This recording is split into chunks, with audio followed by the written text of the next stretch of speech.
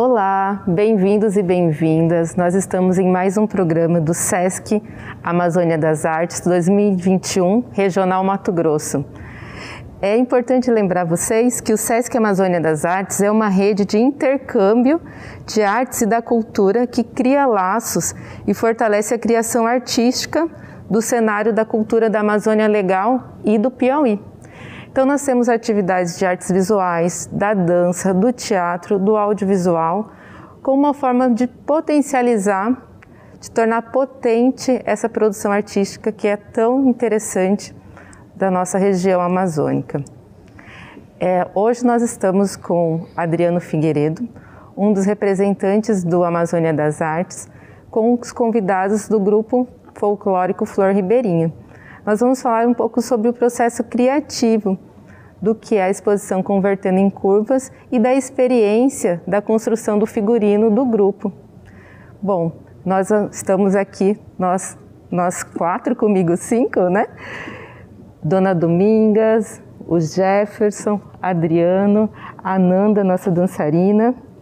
E aí eu vou pedir para cada um se apresentar, falar um pouquinho sobre a sua história e ao longo a gente vai começando nesse nosso bate-papo sobre essa experiência dessa potência artística que foi a criação do figurino e o convertendo em curvas em si. Vamos começar pelo Adriano? Olá, Olá. tudo bom? Tudo ótimo. Primeiro, Quero agradecer mais uma vez essa parceria que o SESC é, faz com todos os artistas, né? Aqui a gente se sente à vontade, aqui é, é um lugar que a gente pode se expressar.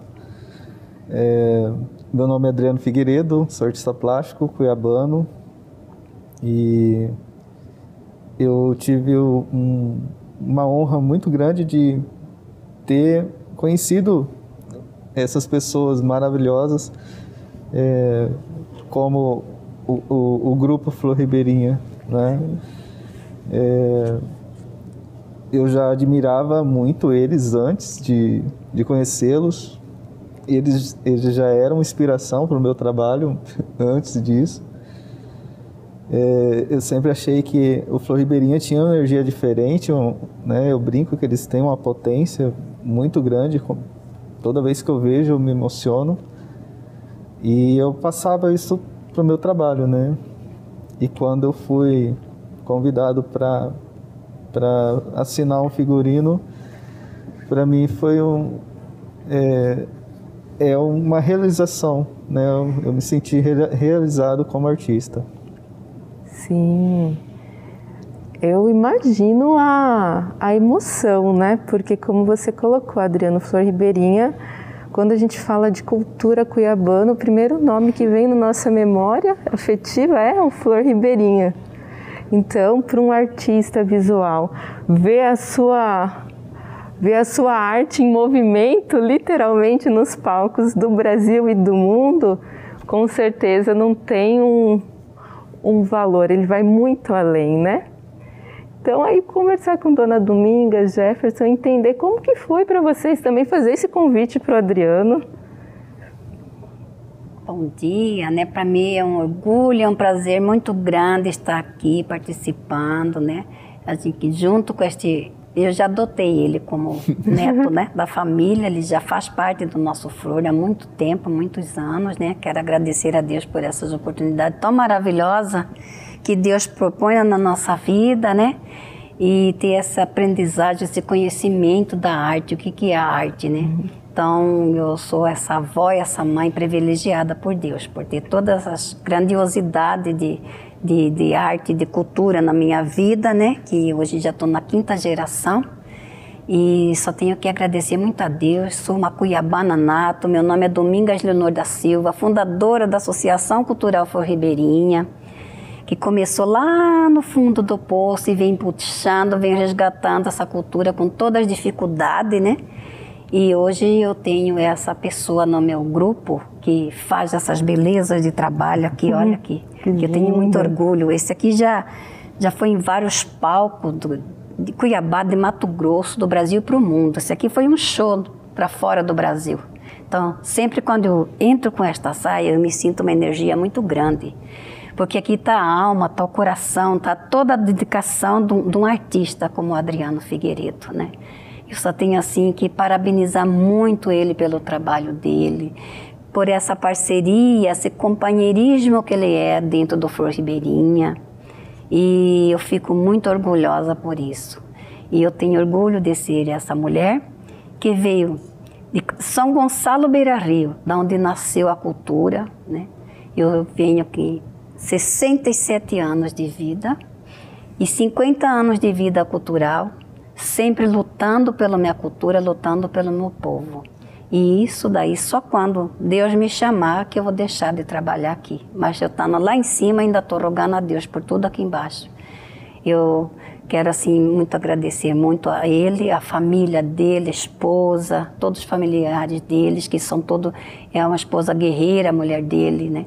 Que luta junto. Isso é muito lindo, é muito é, prazeroso para a gente ver, né? É igual eu, na minha família. Tenho meus netos que são minhas bênçãos, né? Meus filhos, minha filha, Edilaine, e vem meus netos, que é o Jefferson, o Avner, coreógrafo, e a Nanda, dançarina. Então, eu estou aqui representando essa família Flor Ribeirinha hoje, nesta manhã.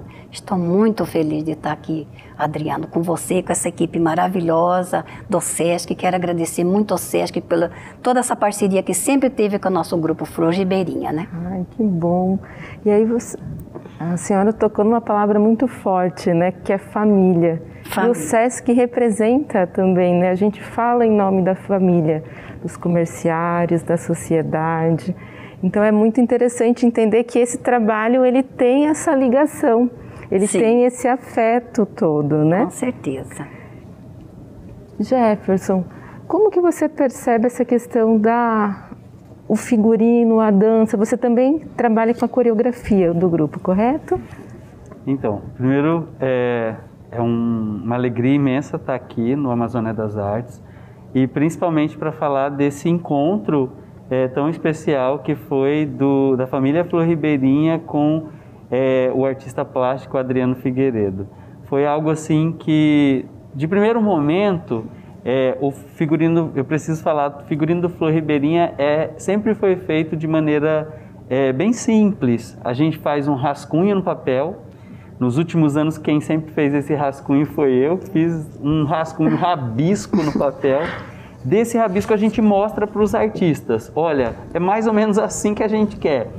E quando a gente viu a arte do Adriano Figueiredo nas telas, imediatamente tanto eu quanto o Avner, Avner é o diretor é, geral do Grupo Flor Ribeirinha hoje, é, e eu fui convidado para o Flor Ribeirinha para dançar. Uhum. Depois, sabendo que eu era da, na, formado na academia como administrador, fui convidado para administrar. E estando ali dentro, a gente rabiscava, cantava, dançava e fazia de tudo um pouco. Naquele momento, quando a gente viu nas telas a arte do artista plástico Adriano Figueiredo, nosso irmão Adriano Figueiredo, é, a gente logo pensou, gente, isso seria de uma, de uma forma é, que a gente não tem como mensurar o tamanho da beleza que isso ficaria. E, e foi o nosso sonho naquele momento.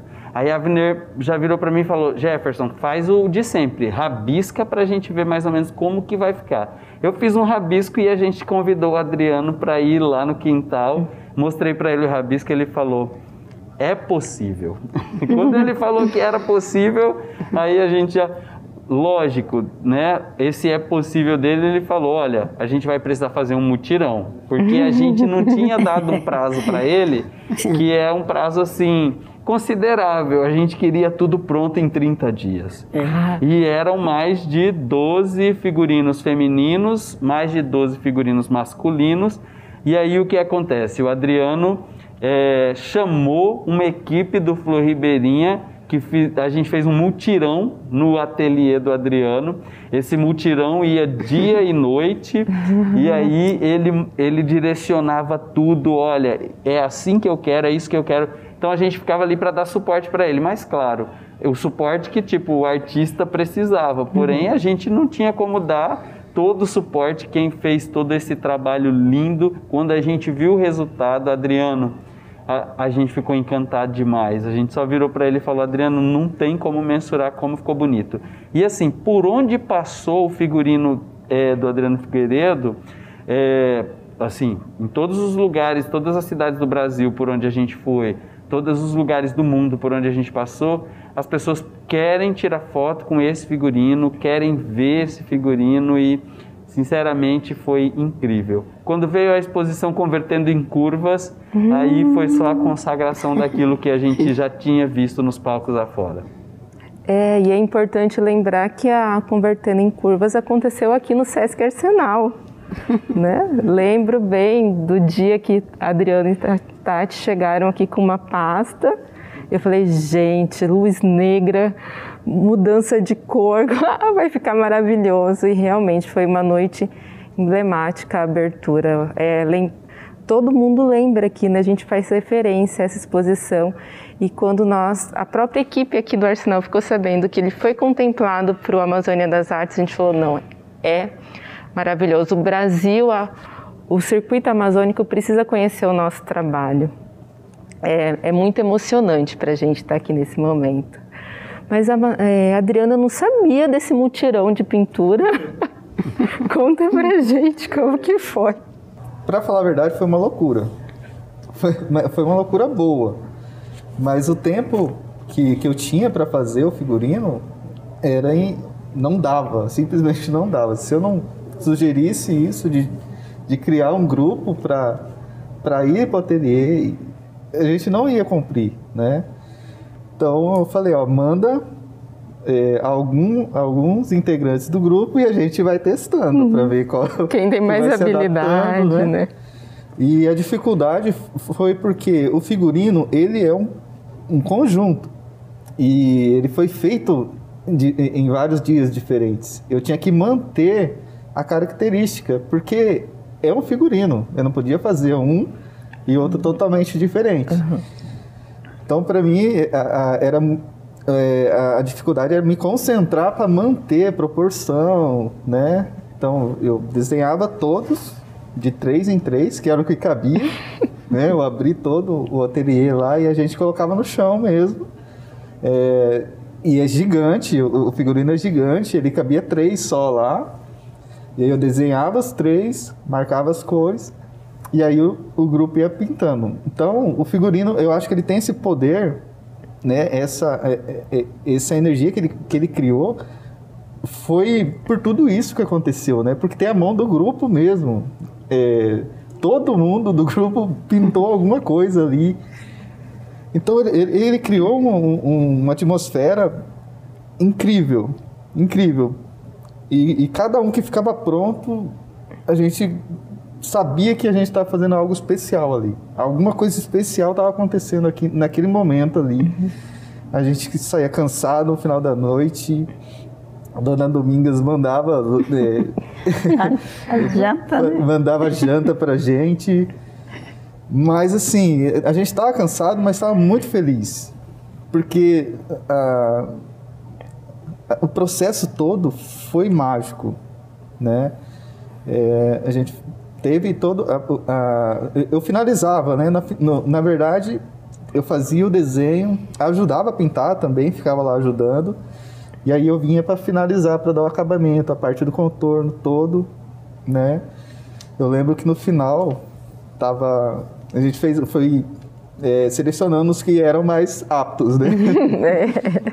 E aí no final a gente, quando foi para assinar a última, a última peça, a gente fez uma brincadeira lá.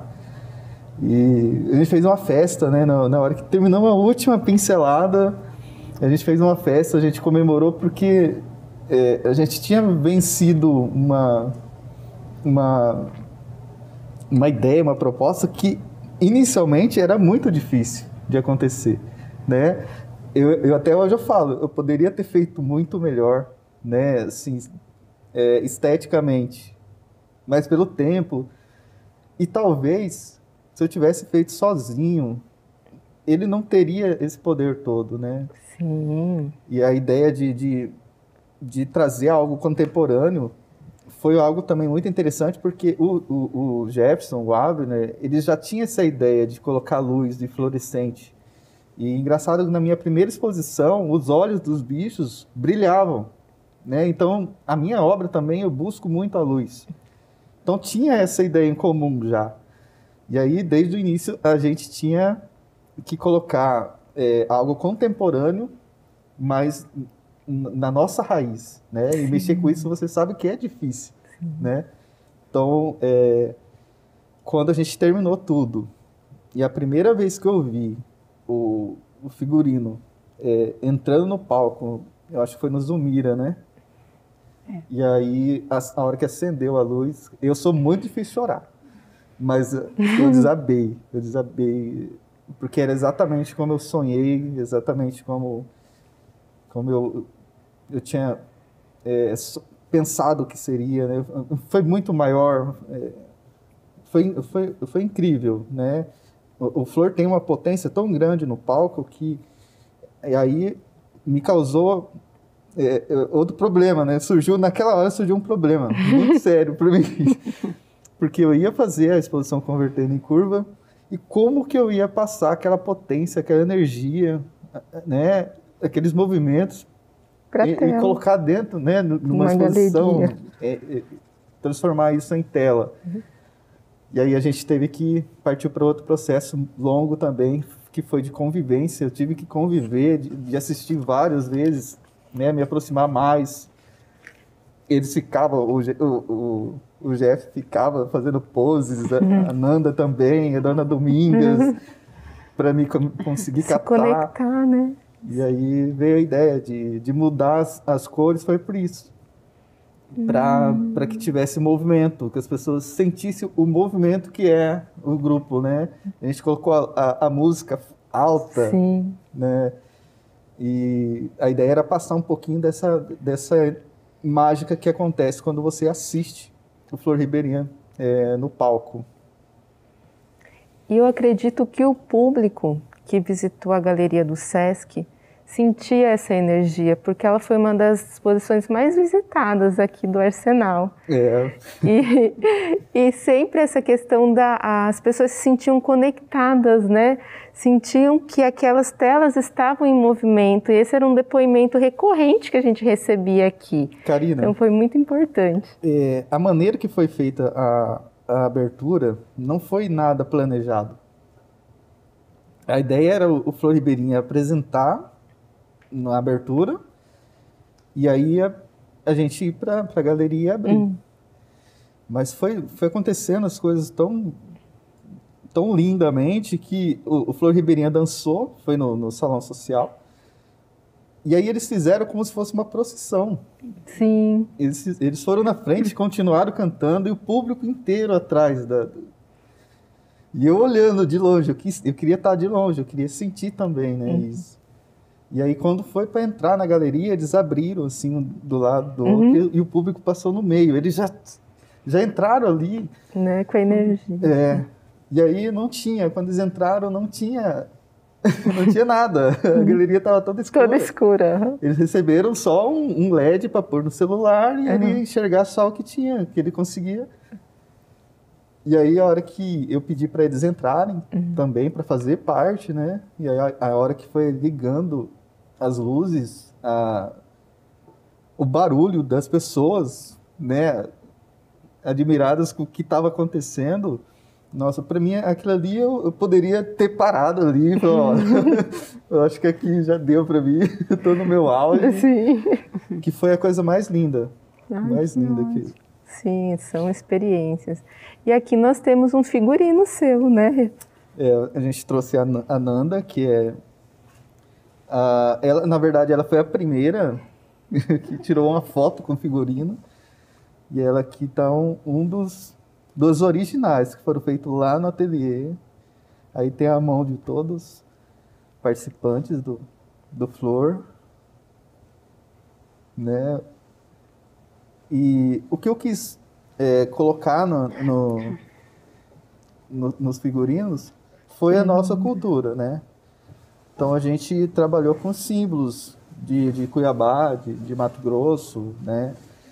Então ali tem a, a, as flores, que é do Flor Ribeirinha, é uma referência clara e direta para o Flor Ribeirinha, mas tem a, as moringas, que fala muito da Dona Domingas, tem os peixes que, que Cuiabá nasceu dali, né? Uhum. A, a, origem vem do rio, a canoa, a viola de coxo, a gente fala do Pantanal, com o tuiu, os tucanos, arara, o caju, a manga, então tá tudo ali. Né? Então, eu acho que foi uma soma de do flor, que já é um, um símbolo, né? Que qualquer pessoa que for falar de cultura em Mato Grosso ah, vai falar do Flor Ribeirinha. E juntou com o meu sonho de, de fazer parte também disso, né? Sim. De fazer parte da cultura de Mato Grosso. E as cores, Adriano? A gente vê é, a presença as... do rosa, do laranja. Sim o fluorescente. As, é, a ideia foi, é, desde o início a gente já pensou no palco, né? Sim. Então a gente trabalhou com cores com, com contrastantes, né? Cores complementares de uma é, ao lado da outra, fazendo esse equilíbrio de, de é, cores quentes e cores frias, e sempre pensando na hora que, que acendesse esse figurino. Então a gente escolheu as cores já imaginando quando ela fizesse isso, ó, uhum. girasse e elas essas cores se misturassem. Sim. Né? Então, as, e são cores é, inspiradas na própria natureza, né? Não, tem, não inventei nada ali, né? É o caju, é a manga. O que a gente fez foi esse equilíbrio, né? Onde está o que para criar uma, uma, uma energia boa quando a gente fosse olhar para ele. E vocês, o que, que vocês sentem quando tem esse movimento, né? Eu, pelo menos eu como cuiabana, eu me sinto realizada quando eu vejo a obra do Adriano, quando eu vejo esse movimento. Mas eu fico pensando para o grupo. Eu quando estou no parque, estou ali para cantar ou tocar, eu, sou, eu canto, sou vocalista, né? Eu sou igual a Bombril, mil uma utilidade. Faltou um músico, eu já pego o instrumento, já só ligo o microfone para a boca, eu estou para o instrumento, né? E aí eu, eu viajo quando eu vejo essa coisa linda. Quando as meninas fazem esse balançado, os meninos entram com aquela energia boa. A calça, a camisa tudo bonito, aquele chapéu tudo lindo, tudo desenhado, tudo acompanha tudo, né? Uhum. Nossa, que a avó fica babando, a avó chora, a avó canta, lá chorando. Muitas vezes porque é muita emoção que a gente sente, né? de ver ali, tá, ah, o coração da gente está ali batendo forte. Primeiro, para que tudo dá certo. Aí se vê a beleza. Quando joga aquela luz azul na roupa delas com os meninos, gente, muda tudo. Aí que dá aquela vida ainda mais, né? Então eu fico muito emocionada, mas muito mesmo, que veja o trabalho assim de Adriano com amor com os meninos, tudo trabalharam com tanto amor quantas noites e noites perdidas ali, né? Mas estava maravilhoso que tudo estava fazendo aquilo que ama, de paixão, tudo aquilo que gosta, né? E eu vejo assim, minha neta, os netos, tudo dançando no palco, com aquela roupa linda, né? Porque tudo são meus netos, já adotei todo mundo. Os dançarinos, é músico, é produção, tudo são meus netos, do meu coração. Aí você vê o que é mesmo, ah, o sangue da, da avó aqui, ó, ela, ele, o Avni. É muita emoção, é muita paixão, né? Sim. E eu fico assim, nossa, pensando, só peço muito a Deus, São Gonçalo, que proteja eles naquele palco dançando, para nada mal acontecer, né? E para a beleza sempre continuar essas coisas lindas que a gente está vendo e encher os olhos do público. O público, eles gritam, eles batem palma, eles aplaudem quando a gente entra, quando o grupo está dançando. Muda de uma música para outra, é outra coreografia, outra evolução mais rápida do que outro. Aquilo ali não tem dinheiro que pague é aquela alegria, né? Sim. Aquela emoção da gente. Para mim, pela idade que eu tô, que venho desde criança, lutando para aquilo nunca acabar. Então hoje eu falo assim, né? E Sim. repito várias vezes, agradeço a Deus e sou essa mãe, essa avó privilegiada por Deus. É um verdadeiro encontro, né? É, verdade. Das artes plásticas com a dança. Com a dança. Muito lindo. Eu não sei se você sabe, nós fomos é, campeões do mundo na Turquia, utilizando o figurino do Adriano Figueiredo, né? E é, quando o Adriano fala que ele preservou algumas imagens que são exatamente dos costumes e das tradições, é, como, e que ele não inventou nada, ele só uhum. colocou a viola, a moringa, é, o caju, o peixe, coisas assim que fazem parte do nosso, da, do, do nosso cotidiano e da nossa rotina, do cuiabano ribeirinho, uhum. do, do cuiabano. É, porém, o Adriano ele dá aquele toque contemporâneo e, e bem alimentado de saberes de um verdadeiro artista plástico que assim que no mundo se, não se vê tantos por aí, né? com um diferencial muito especial. Quando é, a gente se torna campeão do mundo utilizando esse figurino e as pessoas lá fora olham esse figurino e ficam tão apaixonadas, é como se fosse uma comprovação de que os saberes populares, originários e tradicionais, eles vão se transformando com o tempo e vão se encontrando com esses saberes é, da ciência, os saberes da academia, os saberes de um pesquisador, né? Que um artista plástico como o Adriano é um grande pesquisador e esse encontro desses saberes vai transformando em toda essa beleza artística que assim a gente só pode parabenizar o Adriano por esse trabalho e por esse por esse encontro, né? Sim. Por essa conexão, né? A gente só tem a agradecer e, e assim quando a gente viu é, essas cores vibrantes, como o Adriano falou, né? Cores quentes e cores até cores é, desse neon que acendia no palco, né? a gente ficou tão feliz que a gente chorou junto com ele na época do lançamento do figurino e foi emocionante e a gente fica muito feliz com tudo isso. Ai, que bom, é tão bom ouvir isso, né? Muito bom ouvir sobre realização de sonhos, né? Saber que diariamente a arte, ela é esse lugar do realizar, esse lugar do contemplar, né? E agora eu pergunto para o Adriano, como artista plástico, como, que é, como está sendo a sua experiência em estar no Amazônia das Artes 2021? É claro que é, é importante a gente contextualizar que nesse ano as ações elas são híbridas, porque como o mundo inteiro a gente está vivendo essa situação da pandemia, né? Algumas ações são virtuais, outras presenciais, e aí a gente também já coloca para o público que se caso a, a legislação não nos permita, vai, a gente vai realizar virtual, mas vamos continuar realizando, né? Então a gente passou por um ano atípico e até o próprio projeto se reinventou. Hoje nós temos uma plataforma online onde estão as ações do, do Sesc Amazônia das Artes.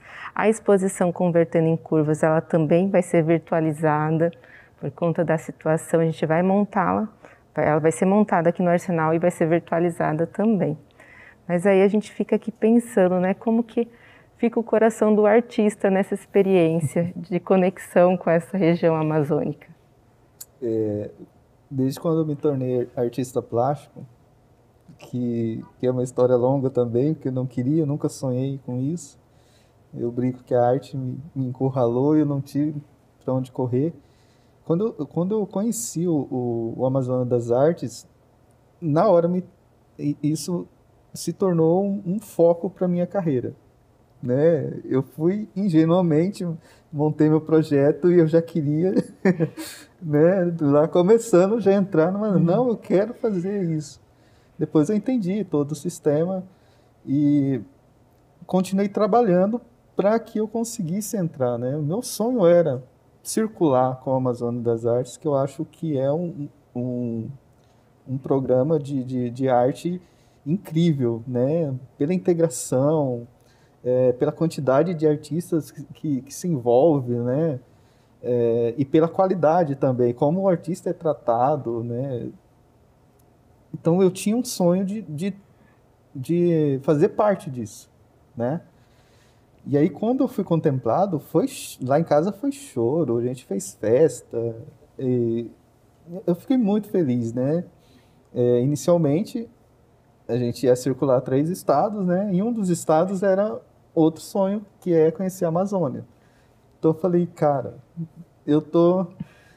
Agora vai, vai acontecer e, e vai ser lindo, né? E aí aconteceu tudo isso.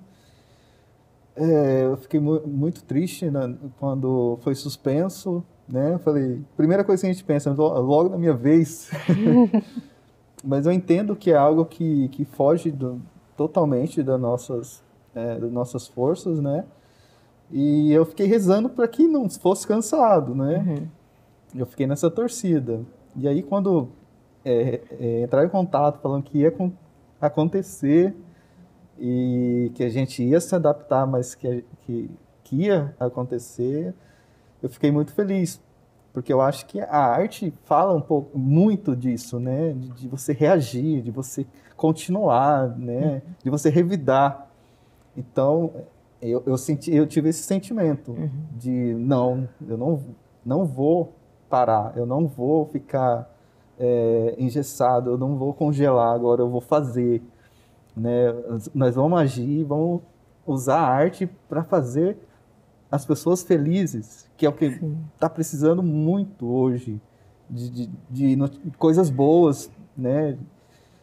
Então vamos fazer isso com todo carinho, com todo amor, né? Vamos falar sobre nossa cultura com muito orgulho, com muito respeito é, e representar o meu estado, que é uma responsabilidade. A gente tem artistas incríveis aqui.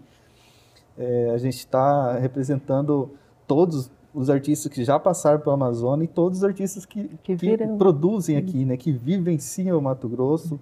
É, e a gente está numa fase que a gente perdeu muita gente, né, e a gente vai se sentindo mais forte e a responsabilidade vai aumentando. Então, é, é, a minha intenção hoje é fazer o meu melhor, né? É, a gente está tá querendo fazer a, a convertendo em curvas como foi feita, mas falando do atual, né? Vai ter coisas que, que foram atualizadas para conversar da maneira que as pessoas sintam que ela foi feita agora, né? Sim. Então, a nossa intenção é aproveitar essa oportunidade que o SESC está tá dando para a gente num momento como esse de fazer arte, porque tá difícil fazer arte num momento, momento desse, a gente quer aproveitar essa oportunidade do SESC para falar da nossa cultura e fazer com que essa experiência seja é, inesquecível para mim e para quem tiver acesso a ela, né? Sempre com, com a energia do nosso, de todo mundo que participou desde o começo, né? O, o Flor Ribeirinha foi muito mais que a inspiração para essa exposição. É, eu, eu a, a, exposição é o Flor Ribeirinha. A exposição é a minha vivência com Flor Ribeirinha. Então, é isso que eu quero falar. E o Flor Ribeirinha é Mato Grosso. Maravilhoso. Então, a gente vai ficando por aqui. A programação do Amazônia das Artes continua. Como nós informamos, ela está toda digital né, na, na plataforma do, do projeto amazoniadasartes.com.br, acessando pelo site do SESC. Eu quero agradecer a presença de vocês, Adriano, Ananda, Dona Domingas, Jefferson e toda a equipe do SESC. E vamos e vamos continuar, né? Viva a arte, viva a cultura cuiabana, viva a Flor Ribeirinha, viva Adriano Figueiredo e convertendo em curvas. Obrigada.